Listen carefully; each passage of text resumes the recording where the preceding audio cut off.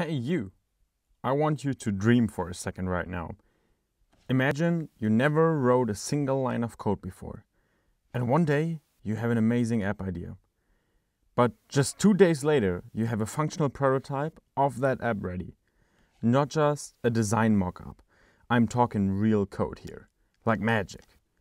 Or imagine you're a Flutter developer, but the app building process would not take you weeks anymore, but more like hours.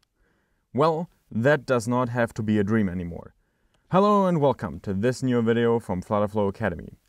This video is all about getting you to know Flutterflow. So if you are new to Flutterflow, Flutter, or maybe app development at all, this video is exactly for you. Because with Flutterflow, you can stop dreaming and start doing when it comes to mobile app development. This video is divided into three parts. In the first part, we will cover the benefits and use cases of Flutterflow. In the second part, we will give you a quick tour what Flutterflow offers to you and your needs. And in the third part, we will outline the three specific reasons why it is such a game changer. Let's get started.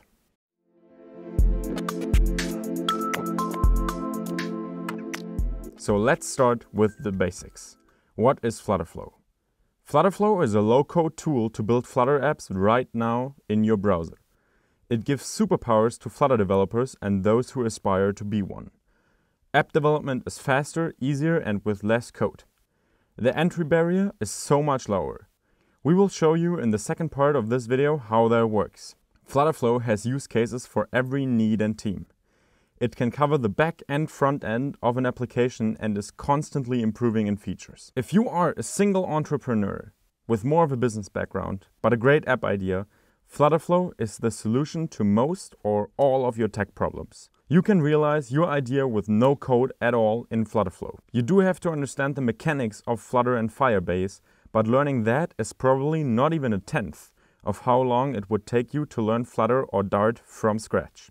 The use cases are basically endless. Close to every mobile app idea you can think of can be realized nearly completely in Flutterflow. Due to its API calls, you can even embed APIs. We will now give you three examples of use cases. If you are an online content creator in the food niche, like a blogger about vegan recipes, you can now start thinking about your own app, where your community can see all of your recipes, videos, and articles, like your own little magazine. Or maybe another example is a community. Due to its extensive Firebase integrations, you can build your own little social network in Flutterflow. So if you are the organizer of, let's say, a meetup, you can now build your own little social network exclusively for your meetup community. Or maybe you are already a pretty decent Flutter developer with a lot of magic back-end skills, but you are really not a fan of building the UX and UI for your app?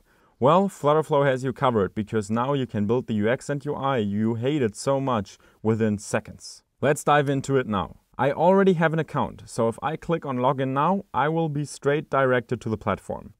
Signing up is super easy, but if you need help with that, you can check out our Getting Started in Flutterflow video. In that video, we will compare all the plans for you and help you get started. Now I will click on login. And there we go. I now have an overview about all my projects here, but for showing you around, I will start a new project. So for that, I just click on Create Project and I give it a name. So Let's name it Getting to Know Flutterflow. then I click on Create New. So then Flutterflow will give you a little tour, but we can skip that. You see, we already directly land in the so-called UI Builder. The UI Builder is where the UI magic happens. We started here with an empty screen. Onto this empty screen, I can now drag and drop all of the widgets you can see here on my left hand side. If I want to start building, I can just click on the app bar and drag it in. And there's my app bar. Now I have a lot of styling options for my app bar that I could style my app bar with. If you want to know more about these, check out our video on the app bar. But I can also put components into my app. Components like an Apple sign-in button. So my users can sign in directly with Apple. Flutterflow enables you to use all of these components so you can build your apps within hours. I will now show you around a bit. Just below the UI builder on your left-hand navigation bar, there's the widget tree. In this tree, you can see all of the widgets in your app and see how they are related to each other. If you want more details on the widget tree, subscribe to our channel because there will be a video about how to use the widget tree efficiently soon. The next thing below the widget tree are actions. Actions is where you give your app functionality. So if I maybe want that if my user clicks on a button and he's redirected to another screen, I can add an action right here and say what happens on tap, on double tap, or on long press. So if I select on tap, I can then select the action type, so maybe navigate, give a backend call, authentication, an Algolia search, an URL that is launched, a photo that is uploaded, a date picker, a bottom sheet, or an alert dialog. Let's stick with navigate. And then I can click the navigation type, so navigate to a page or navigate to a back.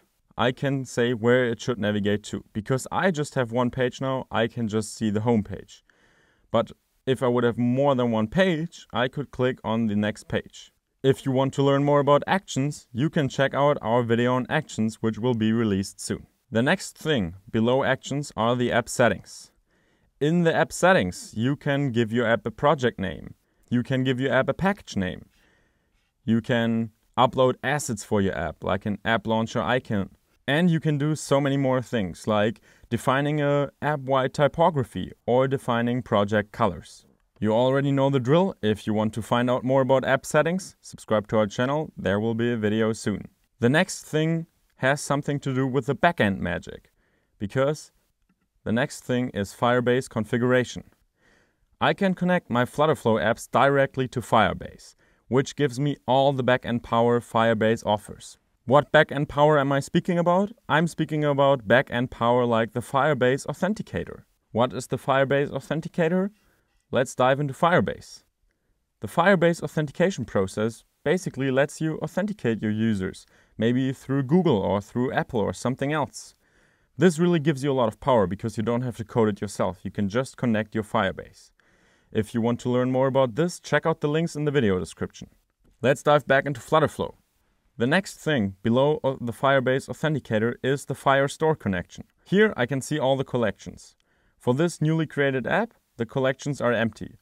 But if you want to create a collection, you can just click Create Collection here after you configured your Firebase.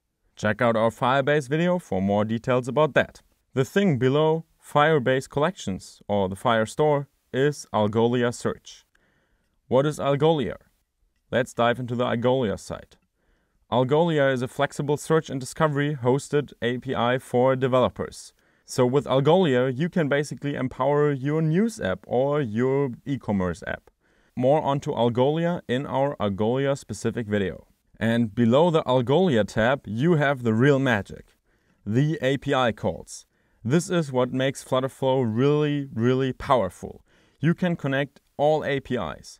So as an example, if you have an API for maybe pictures from a museum. Then you can connect it, and all the pictures from maybe the Met are directly in Flutterflow. And if you're working together on a project, you can also connect GitHub. GitHub is a version control system that is used if you develop an app with a team. This is also really powerful because it gives teams the opportunity to use Flutterflow. Let's dive back into the UI builder. What happens after I build my app? This is obviously not a finished app, but let's just imagine it is. Then I can basically export all my code. I just have to click on code right here, and then I can click on download code, and the whole code package is downloaded. This is really powerful because now I can build apps in Flutterflow, download the code, maybe add some little spice to the back or front end myself if I want to do that, and then I can upload them to the App Store. And there we go. I have my own app. But let's go back to the project. I can also share the prototype of the app with the share button. And I can also preview my app with this button. A new tab opens and I can preview the whole app. If you want to provide any feedback to Flutterflow directly, you can do that just through the feedback tab. So this is it with the quick tour of Flutterflow. To dive into each of the parts more specifically, watch the specific video on them. Now let's get to the last part of the video. Three reasons why Flutterflow is such a game changer. Reason number one, it lowers the entry barrier to building qualitative mobile apps by far. With Flutterflow, everyone, even with no coding experience, can build their own apps effortlessly. Reason number two, Even if you are a developer already, it will improve your speed a lot. Like mentioned before, if you love backend but you don't like frontend, Flutterflow has you covered. And reason number three. The community behind mobile app development was just opened up to tens of thousands of more people. That means more creativity can flow into mobile app development, and collective creativity is a huge driver for the evolvement of things. Just think back for a moment to the days where just coders could build their own websites.